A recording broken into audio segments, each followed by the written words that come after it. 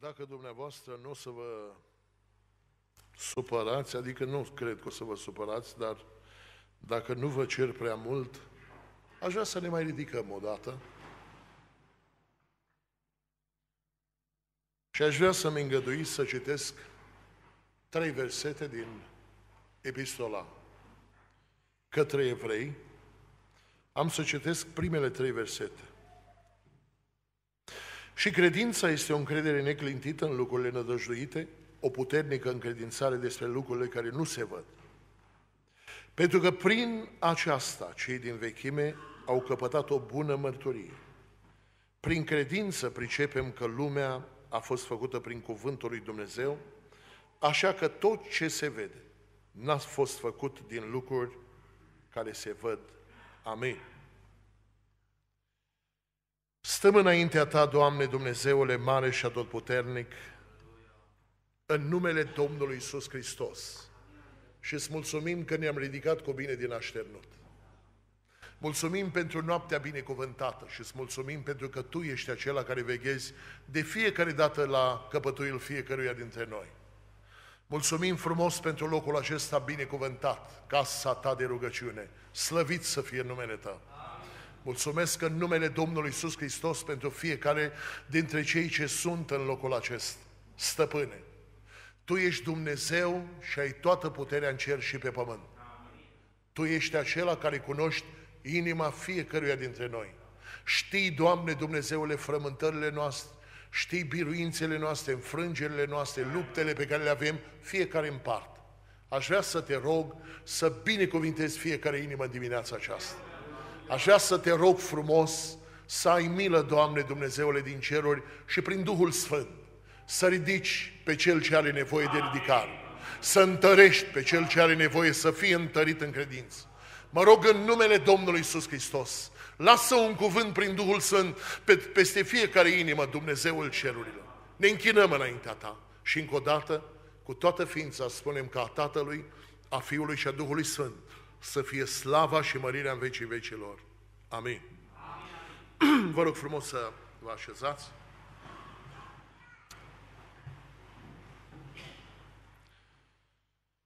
Băiatul nostru cel mare îmi spunea zilele astea când ne-am reîntâlnit, zice, tata, ești din nou la Londra într-un timp foarte scurt. Așa este. Sunt iarăși cu frumoasa mea soție, și mă bucur din toată inima că am început sau a început să vină cu mine. Iarăși am băgat-o pe mânecă când am aterizat la Londra, ca și data trecută. Uite așa a venit avionul la sol. Și am zis, Doamne, nu mai vin cu avionul, vin cu mașina. Pot să fac și o săptămână, dar nu mai vin. Acum nu știu dacă o să mă țin și de promisiune, dar nu știu ce ori avea avioanele astea. Vă salut în numele Domnului Iisus Hristos pe fiecare în parte. Mulțumesc din toată inima Domnului și preibiților frați care mi-au făcut parte de cinste, de onoare, să fiu din nou cu dumneavoastră. Dumnezeu să vă binecuvinteze și Dumnezeu din cer să vă dea har în tot ceea ce faceți. Să nu se supere preibitul frate Vasile pe mine, dar eu m-am bucurat că n-a fost aseară, pentru că am putut și eu să cânt. Că dacă era acolo, nu mai îndrăsneam. Nu, nu mai poți. O voce minunată, o voce binecuvântată și nu putem să spunem decât slăvit să fie Domnul. Amin. Și mie îmi place să cânt, preibitul frate Irinel mă tot încurajează și zice, mă, când cânți, să fii singur. V-am spus eu și data trecută, eu îl iubesc din toată inima pe Irinel, dar chiar dacă zice el așa, eu am să încep, am să continui Uh, să cânt. Dar bineînțeles, în dimineața aceasta s-a cântat și am să vă cânt de seară, da? Ai să vii și de seară. Am să cânt poate data viitoare. Împreună. Poate cântăm împreună. Ce frumos. Vă aduc salutul Sfinților de la Galați, de acolo de unde venim. Salut care se găsește în 1 Ioan, capitolul 2, versetul cu numărul 6. Și Sfinții de la Galați vă salută și vă spun în parte fiecăruia cine zice că rămâne în El trebuie să trăiască și el cum a trăit Isus. Și mă rog din toată inima Dumnezeu să ne ajute la lucrul acesta pe fiecare în parte. Dacă oamenii au nevoie de ceva, au nevoie să-L vadă pe Domnul Isus Hristos. Așa cum niște greci s-au dus la Filip și i-au spus, Domnule, am vrea să vedem templu, că am auzit, până și împărăteasa asta a venit să-l vadă. Nu le-a spus așa. Nu i-a spus nici de îmbrăcămintea preoțească, n-a spus de nimic, de jertfele care se aduceau, de nimic. Ei au spus atât. Domnule, am vrea să-L vedem pe Isus. Și în dimineața aceasta aș vrea și eu să-L văd pe Domnul Isus, lucrând la inima fiecăruia în parte. Am fost motivat să citesc cuvântul acesta de preibitul frate care a citit la îndemnul de rugăciune, pentru că într-o vreme ca aceasta, să știți că dușmanul sufletelor dumneavoastră și al meu caută să ne fure credința. De ce? El știe că fără credință este cu neputință să-i fi plăcut lui Dumnezeu. În sportul de performanță pe care l-am practicat, erau trei puncte pe care le urmăream și eu și adversarul meu. Trei puncte, cum numesc sportivii care practică boxul de performanță, trei puncte de knockout. Erau trei locuri unde dacă loveai să termina meciul. Nu vă spun care sunt astea, sunteți tineri aici și să nu puneți în practică că nu e bine deloc. Dar am să vă spun ceva pe plan spiritual. Pentru că fiecare dintre dumneavoastră sunteți, dacă vreți, boxeri de performanță. Adică cum? Adică vă găsiți într-un ring și aveți un adversar. Și adversarul acesta stă și urmărește să te lovească în cele trei puncte pe care el știe. Că dacă a reușit să te lovească acolo, ești gata. Ești gata. Care sunt aceste trei? Credința, nădejdea și dragoste. Fără credință, zero. Fără nădejde, zero. Fără dragoste, aramă sunătoare. Zero. Și știți care este uh, lucru pe care trebuie să-l știm foarte, e foarte important. Vrăjmașul nostru nu doarme. El stă tot timpul și te urmărește. Știe cât citești, știe cât te rogi, știe cât cânți, știe cât postești, știe cât umbli cu Domnul. Știe cât ții garda sus. Câtă vreme garda este sus, el n-are cum și n-are unde să lovească. Dar El te urmărește. Și, dragii mei, mă gândeam, mi-a venit în minte și cuvântul pe care Domnul Isus îl spune în Evanghelia după Luca. Nu mai știu exact la ce capitol, dar dumneavoastră poate că știți. Când va veni Fiul omului, va mai găsi, poate capitolul 18 din Luca, când va veni Fiul omului, va mai găsi oare credință pe pământ? Credință nu-i ceea ce spui din gură că este credință. Și nici, acum, să mă iertați că nu vreau să bat niciun apropo, dar nici măcar ceea ce cânți nu este credință. Credință este ceea ce trăiești în fiecare zi cu Dumnezeu. Aceea este credință. Și într-o vreme ca aceasta, parcă, parcă vedem că nu mai există credință. Acum m-am pocăit după anul 1990, în 1994. Și am avut întâlnire cu foarte mulți oameni. Foarte mulți oameni. Și pentru că l-am pomenit pe preibitul frate Irinel, îl mai pomenesc încă o dată, îmi povestea, mi-a povestit foarte multe, pentru că și tatăl lui și mama lui au fost vase în mâna lui Dumnezeu, de care Dumnezeu s-a folosit într-un mod deosebit. Îmi spunea la un moment dat cum s-au adunat la rugăciune, acum nu știu dacă la Timișoara, dar oricum în zonă, și un om a murit acolo. A murit. Am zis, cum a murit? A murit. Deci a murit. Și era securitatea care urmărea. Erau uh, oamenii aceștia care și astăzi urmăresc. Și astăzi urmăresc. Într-un alt fel, dar și astăzi urmăresc. Și a venit un frate și a zis, fraților, noi credem din toată inima că Dumnezeul nostru are toată puterea în cer și pe pământ. Și noi credem din toată inima că Dumnezeul nostru poate să învie și din morți. Zice că s-a pornit la rugăciune. omul acesta a înviat. L-am crezut. Binecuvântat să fie Dumnezeu. Dragii mei, într-o vreme ca aceasta, mai mult ca niciodată, trebuie să avem această armă pe care Dumnezeu ne-a lăsat-o.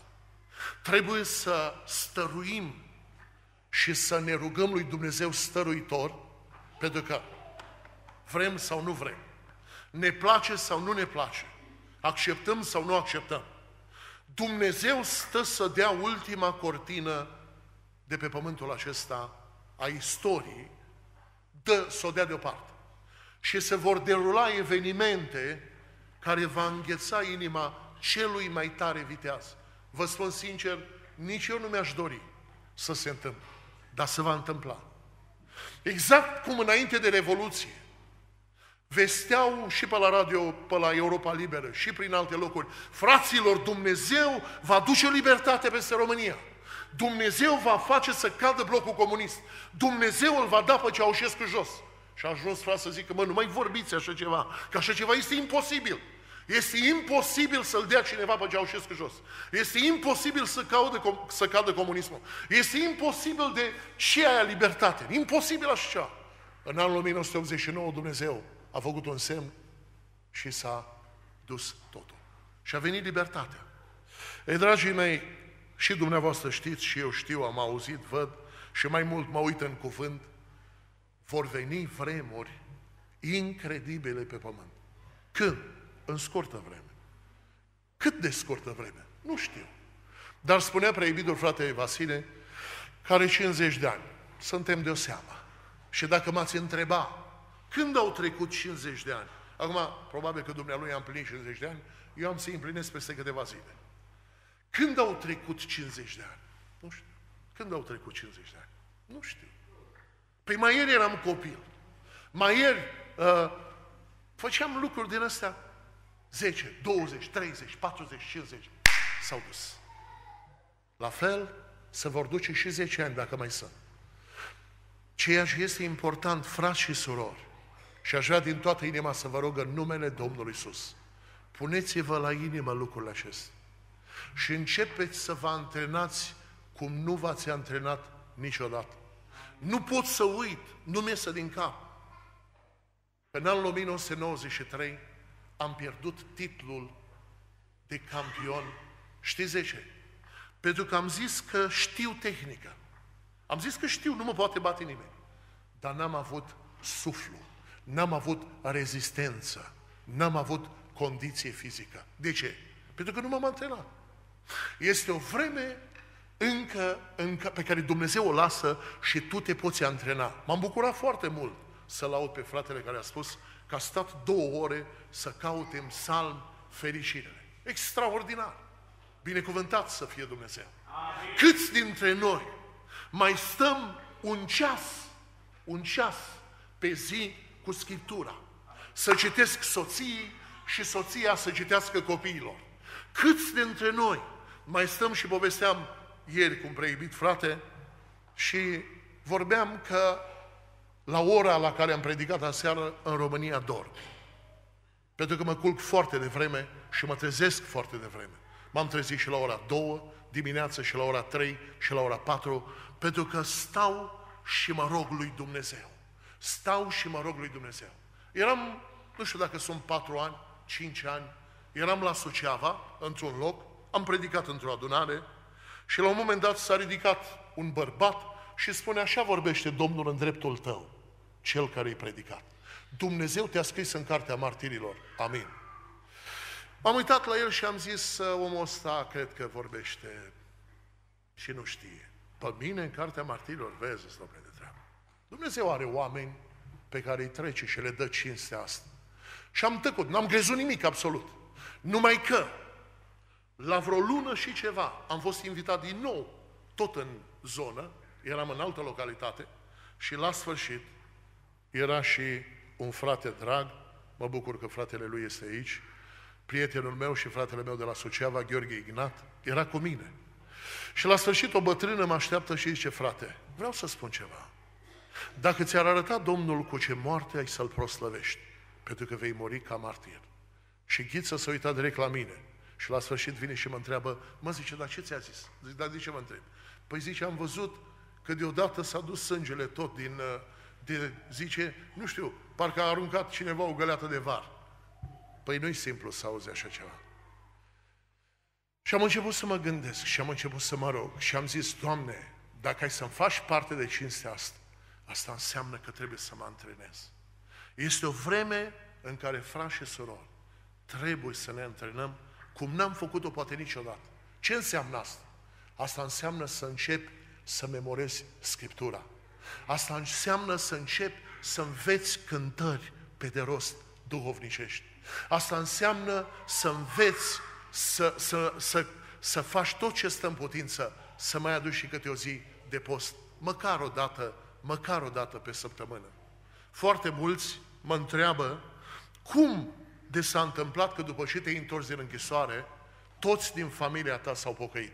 Și mama ta, și tatăl tău, și fratele tău cel mare, și fratele tău mijlociu, și sora ta, și cumnatul tău, și soția ta. Și i-am spus, pentru că în închisoare, vreme de un an de zile, în fiecare săptămână, vineri, sâmbătă, duminică, nu mâncam și nu beam nimic. Eu nu știam ce, ăla, ce înseamnă postul esterii. Nu aveam habar de așa ceva. Dar era Duhul Sfânt, care de joi seara îmi spunea, nu mai mânca, nu mai bea. Și până duminică seara, nu intra în gura mea mâncare sau băutură, numai prin mila lui Dumnezeu. Și dacă mă rugam pentru ceva, mă rugam pentru cei din familia mea. Amin. Frații mei, surorile mele dragi, suntem în locul acesta și avem fel și fel de cauze înaintea lui Dumnezeu. Avem fel și fel de cauze. Știți ce dă biruința acestor cauze? Credința dumneavoastră. Asta dă biruință. Dar ce e aia credință?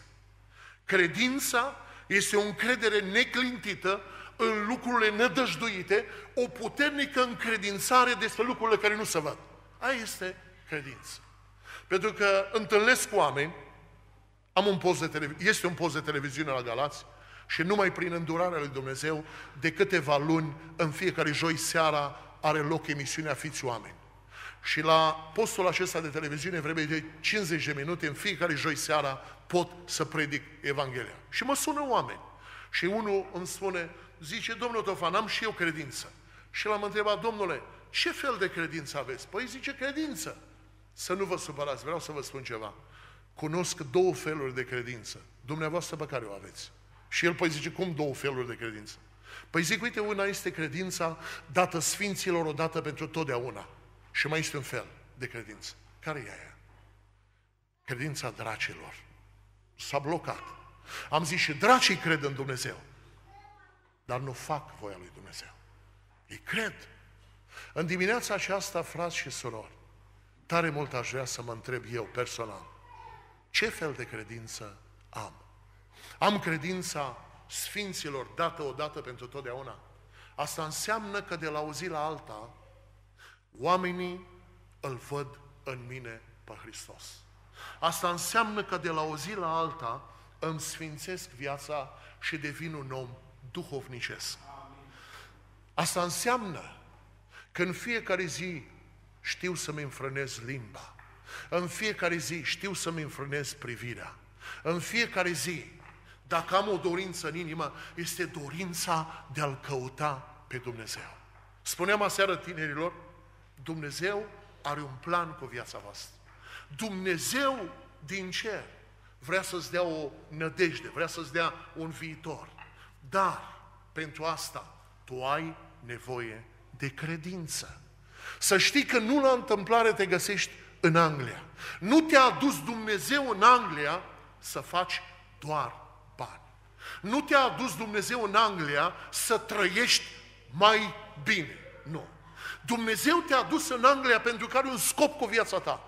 Dumnezeu te-a dus în Anglia și dacă ești un mădular în trupul lui Hristos, Dumnezeu vrea să folosească mădularul acesta pentru slava și pentru gloria lui Dumnezeu. Amin. Pentru slava și pentru gloria lui Dumnezeu. Dar ce înseamnă credință? Dragii mei, credință în cel din tâi lucru pe care vreau să-l afirm în dimineața aceasta este să vezi ceva în avans, să crezi din toată inima, să crezi din toată inima, înseamnă să vezi ceva în avans, chiar dacă nu vezi nimic. Să vezi ceva în avans, chiar dacă tu nu, cre- nu vezi nimic. Adică, înseamnă să crezi că ceea ce ceri, tu ai și primit. Citesc Noul Testament și am multe locuri unde îmi place uh, să citesc și îmi place să meditez asupra locurilor respective. Dar este un loc unde mă uit, atunci când vine vorba de credință, mă uit la femeia aceasta din Marcu, capitolul 5. Femeia aceasta despre care citim și înțelegem că având problema pe care o avea, acea scurgere de sânge, ea nu putea să intre în sinagogă. De ce? Păi nu avea voie. 12 ani departe de casa lui Dumnezeu. 12 ani departe de cuvântul lui Dumnezeu. 12 ani stă femeia aceasta umblând pe la toți medicii și ne găsim vindecare. Și prinde momentul și aude că pe acolo trece Isus. Credeți că era prima dată când auzea despre Isus? Nu. Pentru că ea, credința, vine în urma auzirii. Slăvit să fie Dumnezeu. Și prinde momentul și spune, nu mă duc să-L opresc. Uite, nu-mi permit să fac ceea ce a făcut fruntașul sinagogii, cu alai, l-a oprit, învățătorule, am o fetiță, trage să moară, vină cu mine. Nu mă duc. Mă duc pe la spate și am să mă ating și mă vindec. S-a atins și s-a vindecat. Binecuvântat să fie Dumnezeu. Ești aici în seară, în dimineața aceasta. Și nu știu cu ce problemă te confrunți. Nu știu ce problemă ai. Dar, la sfârșitul timpului, și mă uit că timpul și zboară, vrem să facem și mă rog din toată inima, am să fac o rugăciune. Și dacă prin credință, în dimineața aceasta, în locul acesta, poate chiar persoana despre care vorbesc să și uită, și am găzduit la o familie. Ea româncă, el englez. Și zic, dar de câți ani sunteți căsătoriți? Păi zice, de câțiva ani. Dar nu aveți copii. Păi zice, n-am copii. Dar de ce? Pentru că soțul meu nu poate să aibă copii. Dar a fost pe la... Păi am fost, zice, nu la un medic. Am fost la 100 de medici. Am stat două săptămâni la familia respectivă. O săptămână la familia respectivă. Am stat două săptămâni în Anglia, dar o săptămână am stat la ea. Și când eram cu bagajul la ușă, pentru că ei m-au dus la aeroport, mă uit la ea și îi spun așa. Fii atent ce spun. Ca semn că ai găzduit un om al lui Dumnezeu, la anul tu vei avea un prunc. S-a uitat la mine și a râs. Zice, frate, nu știi că medicii au spus că este imposibil. Eu n-am mai zis nimic. M-am dus. M-au dus la aeroport, am urcat în avion. Ce credeți că în avion mintea mea a fost bombardată? Mă, la anul nu o să aibă niciun copil și o să zic că am ținut un șarlatan. N-am ținut niciun om al lui Dumnezeu în gaz. Atâtea atacuri, atât ce ți-o fi venit să-i zici astea, să te grozăvești. Așa îmi veneau gândurile. Dar gândurile astea erau de la cel rău. Și m-am rugat lui Dumnezeu, m-am rugat, m-am rugat. Nu știu să vă spun dacă m-am mai gândit vreo lună. Nu știu să vă spun.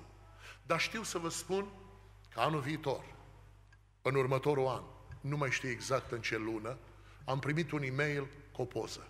Și a spus, frate Vasile, Dumnezeu mi-a dăruit un copil. Slăvit să fie Dumnezeu. Ești aici în dimineața aceasta și poate îți dorești un copil. Și mă rog, în dimineața aceasta Dumnezeu să-ți împlinească dorința. Ești aici în dimineața aceasta și poate te rogi pentru copiii tăi care nu sunt credincioși. Poate te rogi pentru soția ta care nu-i credincioasă. În dimineața aceasta vrem să punem în practică ceea ce am predicat. Și vă spun cu toată inima, vreau să mă rog în dimineața aceasta ca dorințele pe care le aveți, Dumnezeu să le împlinească și să-și proslăvească numele. Amin. Credință înseamnă să vezi ceva în avans. Și Biblia este plină, frați și surori.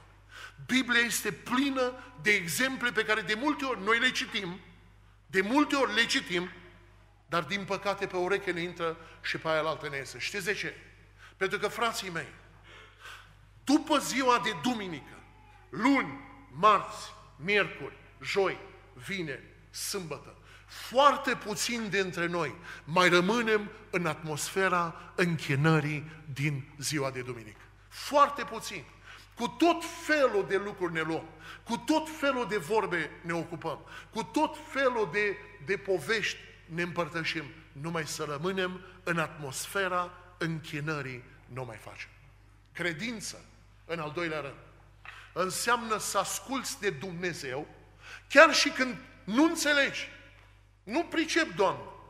Asta înseamnă să te încrezi din toată inima în Dumnezeu. Când nu înțelegi și mă uit și dacă m-a fascinat un personaj în locul acela unde l-am cunoscut pe Domnul în acea închisoare, personajul acesta a fost Iosif.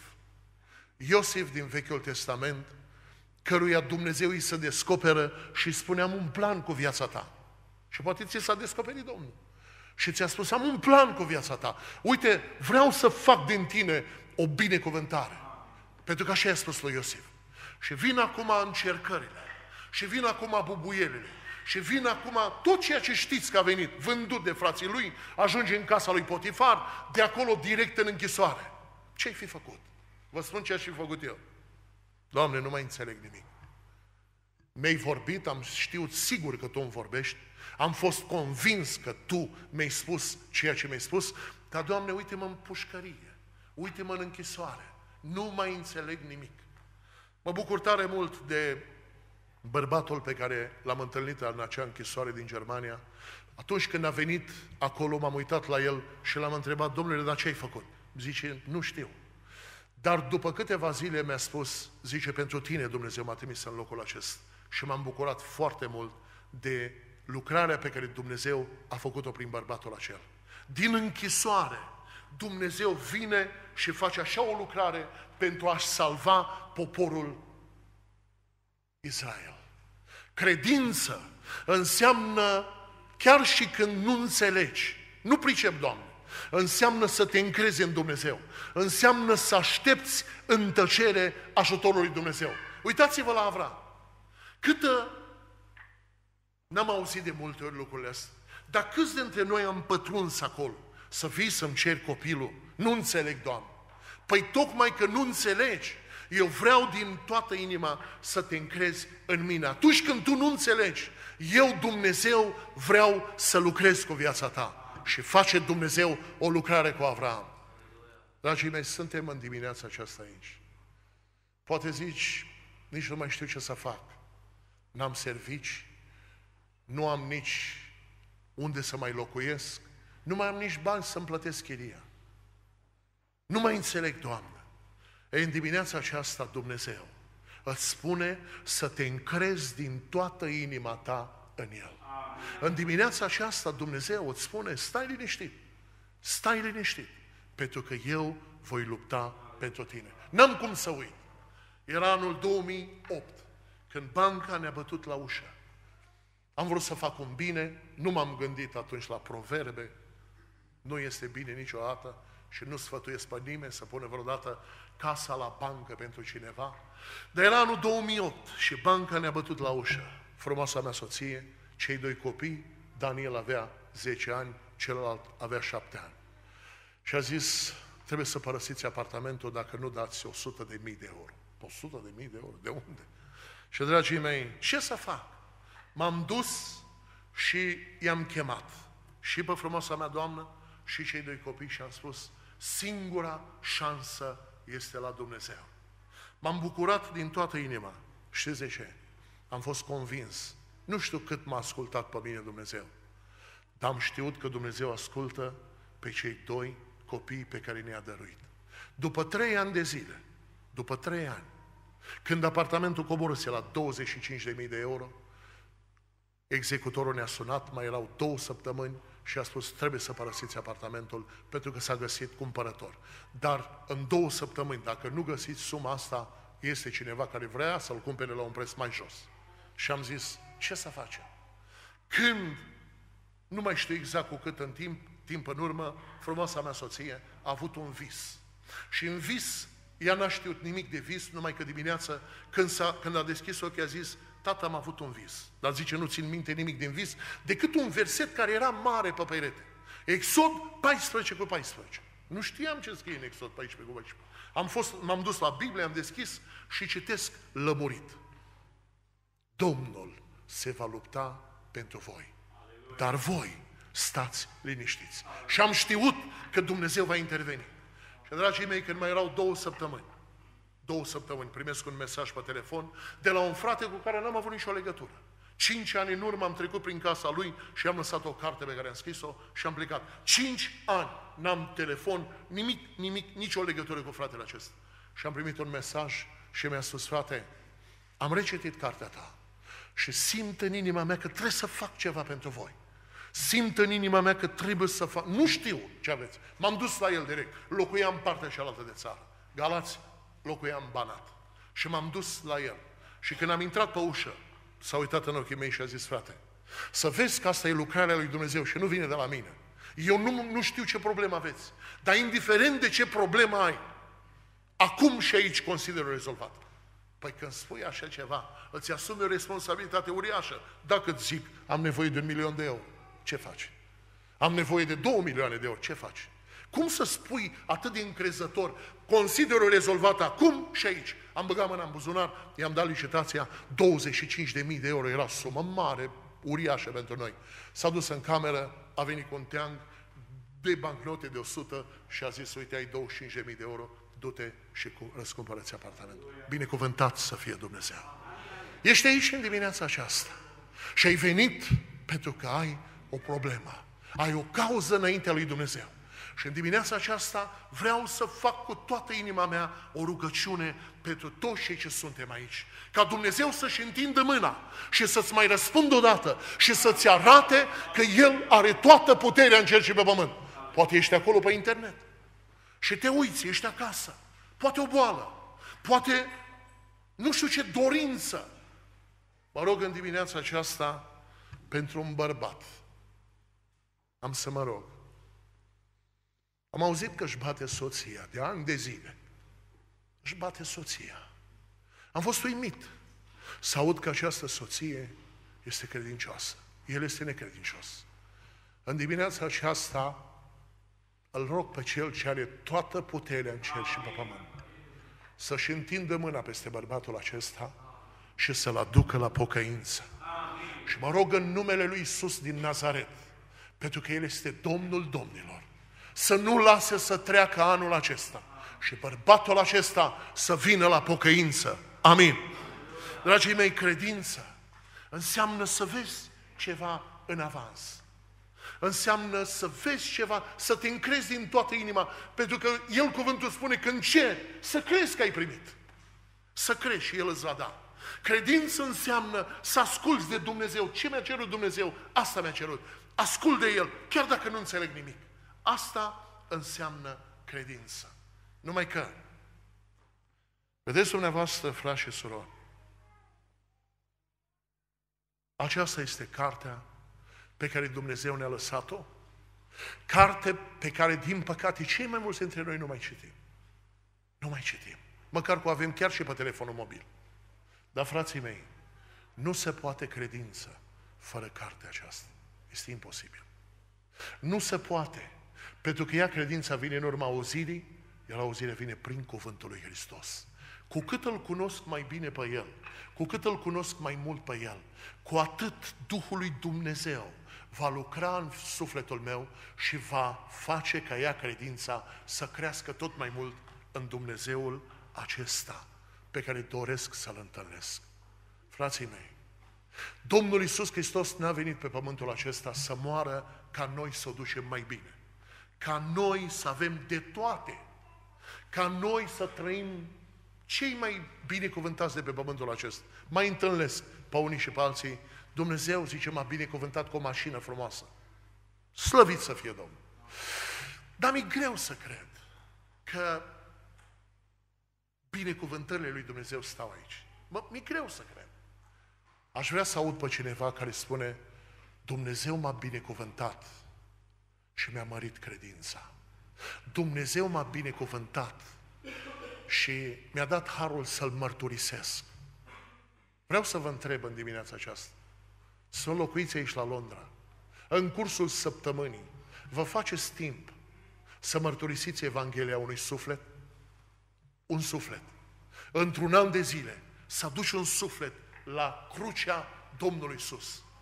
Nepăsarea care își pune tot mai mult amprenta pe noi. Nepăsarea care ne cufundă tot mai mult într-un somn care ne va costa.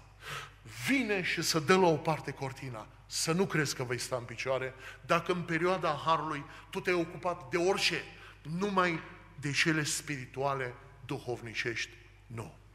Frați și surori, aș vrea să vă rog frumos să ne ridicăm înaintea Domnului. Și aș vrea acum să mă rog din toată inima lui Dumnezeu. Eu nu vă cunosc și nu știu cauză și nu știu nimic, nimic absolut, din ceea ce aveți și din ceea ce ați adus înaintea lui Dumnezeu. Dar în dimineața aceasta, îl rog pe Dumnezeu să-și întindă mâna și să lucreze în dreptul celui care așteaptă să intervină Dumnezeu. Noi, cei care suntem aici, aș vrea din toată inima să vă uniți cu mine în același lucru. Am să mă rog doar eu. Dar la sfârșit, aminul pe care îl spunem, să-l spunem nu de aici, ci să-l spunem din adâncul inimii. Amin.